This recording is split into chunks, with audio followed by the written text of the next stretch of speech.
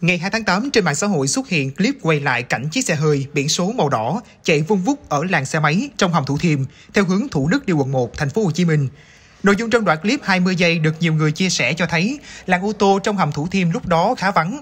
Tuy nhiên, xe này lại chạy vào làng xe máy, chiếm hết 2 phần 3 phần đường lưu thông. Hình ảnh sau khi đăng tải nhận được nhiều sự quan tâm chú ý của người xem, trong đó không ít người dân bày tỏ sự khó hiểu và bức xúc. Chiều ngày 2 tháng 8 trao đổi với tuổi trẻ online, đại diện Trung tâm Quản lý điều hành giao thông đô thị thành phố Hồ Chí Minh xác nhận có xảy ra vụ việc trên vào ngày 25 tháng 7. Chiếc xe này đã chạy vào làn xe máy, làn đường cấm ô tô. Hiện tại trung tâm đã tổng hợp các dữ liệu camera ghi lại hình ảnh vụ việc để chuyển đến cảnh sát giao thông và các đơn vị liên quan để kiểm tra xác minh vụ việc.